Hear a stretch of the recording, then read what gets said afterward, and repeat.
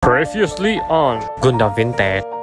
Untungnya gue baca ada yang komen Gundam yang asli dong. Merek Daban aja nggak apa-apa. Cih, Gaban. Gak main gue Yang ini dong. Bandai. Tuh, vintage tuh. Edisi tahun 1990 Made in Japan. Uh, Yang ada logo BDAANI nya Jadi di video ini kita akan unboxing Gundam SDV Ya metik udah saya dan ini adalah Gundam vintage dari Bandai tahun 1990 Made in Japan dan tidak lupa dengan logo BDAANI-nya. Ini kotak udah berumur 33 tahun. Beh, cocok untuk mainan para balita. Dan kalau kita lihat sisi bawah bagian boxnya ada gambar Gundamnya. Ada burung kaki empatnya. Dan ternyata bisa jogres cuy, bergabung kayak kalau bagian samping boxnya ada tulisan Jepang-Jepangnya yang pasti bukan Onichan ini nih. Dan ada angka 49. Wah, jauh juga ini urutannya. Dan bagian atas boxnya ada gambar Gundam sama burungnya dan batu Yu-Gi-Oh. Dan banyak banget tulisan Jepang. Gak ngerti guanya. Jadi langsung aja kita buka. Beh, bau aki-akinya mantep. Gak lah, bercanda. Ini kotaknya masih bagus banget. Gak ada bau. Cuma warna dusnya agak menguning sedikit aja. Bisa kita lihat kita dapetin satu parts warna gold. Gokil. Sama yang putih, kepala burung griffinnya. Terus kita dapetin juga parts body merah hitamnya. Dan stiker-stiker tempel. Ternyata kebiasaan kalau SD Gundam banyak stiker itu udah dari zaman dulu ya. Dan yang terakhir kita dapetin buku panduan. Yang udah pasti bahasa Jepang semua. Widih, ternyata di belakangnya ada komiknya. Ini beda banget feelnya sama Gundam-Gundam sekarang ya. Dan di bagian petunjuknya ada bagian kertas yang bisa digunting. Dan ternyata itu bisa menjadi jubahnya. Wah, ara-ara. Jadi langsung aja kita rakit.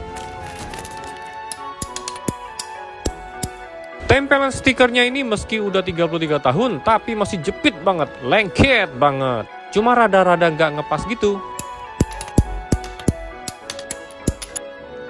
Paling berasa nggak ngepasnya itu di bagian tangan. Dari depan keren, dari samping ampas.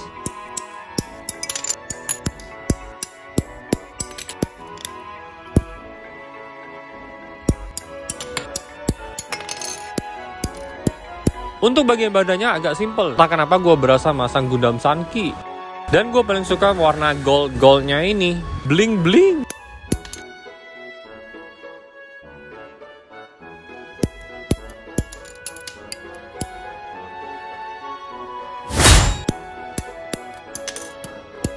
Dan ini ada satu lagi fitur yang berbeda dengan Gundam biasa, ada pernya. Langsung aja kita masang.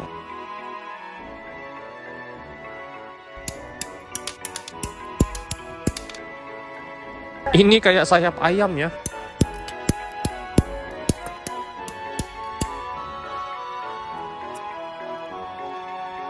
Nah ini badan ayamnya, sisanya kita gabung.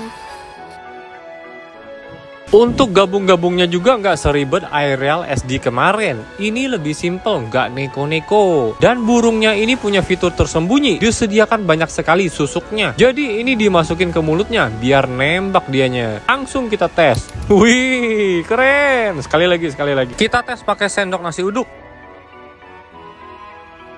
Sorry, duar meme. Wih asik, gokil, kenceng juga. Eh lupa pasang stiker kaki burungnya nih.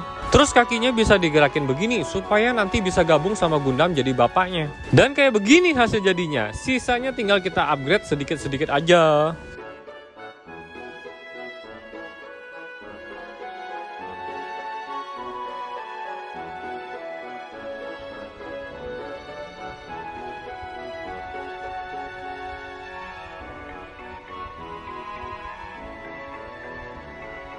Dan ini perbandingan ukuran dengan Gundam Aerial SD. Si merah ini agak bontot. Tapi yang baru gue sadari, gue masih nggak tahu namanya siapa. Yang tahu komen ya.